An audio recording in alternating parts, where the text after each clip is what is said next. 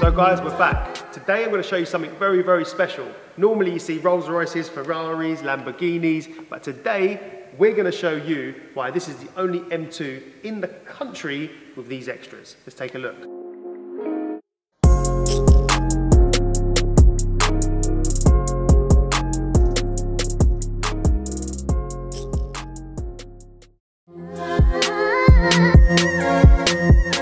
Let's start at the front. So it's had an aggressive front splitter been added in carbon.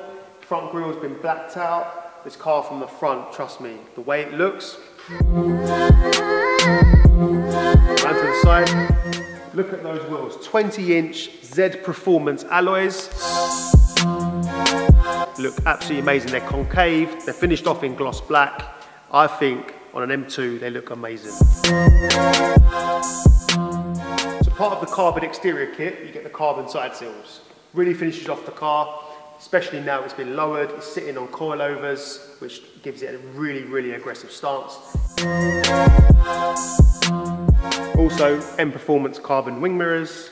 Moving around to the back of the car, which is my favorite, favorite part. With this beautiful carbon lip boot spoiler, really aggressive looking.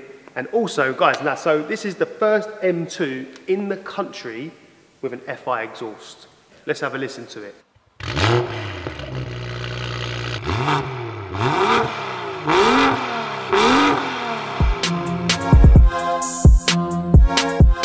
I've had a chance to drive some amazing cars, and this is such a fun car. Even just sitting in behind the driver's seat, it feels like it's gonna be some fun. Look at this steering wheel, the BMW M Performance steering wheel the owner actually put this on after he bought the car. It's finished off in Alcantara. It feels nice and chunky. It feels like you can really take the corners, you know, holding this nice and comfortable.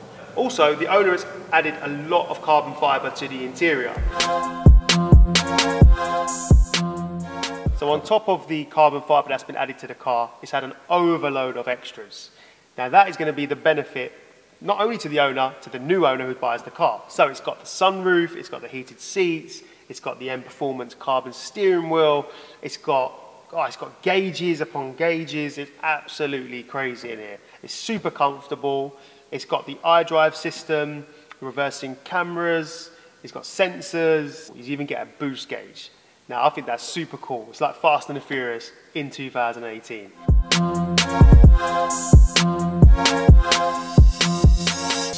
Guys, get in the comments, let us know what you really think of this car. Would you keep it stock? Would you have done it like this? We want to know. But more importantly, we're currently selling this car. So this car is available to buy. If you have a car you want to part exchange with us, you want some finance, let us know. One of the sales guys will give you a call and get you into this car.